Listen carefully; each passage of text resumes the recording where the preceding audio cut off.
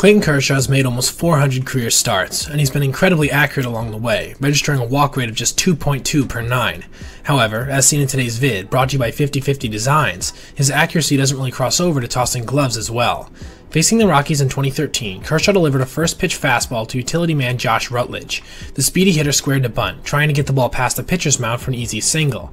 Kershaw responded by throwing his glove at the rolling ball in an effort to stop it, missing off to the right in the process. Lucky for him, as this would have been a violation of the equipment rules if he'd made contact, and would have been an automatic safe call for the hitter.